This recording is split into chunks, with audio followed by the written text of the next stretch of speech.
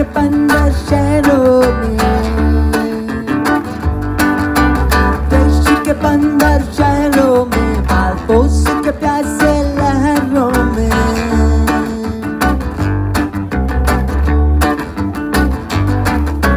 देश के पंद्रह शहरों में पालपोस के प्यासे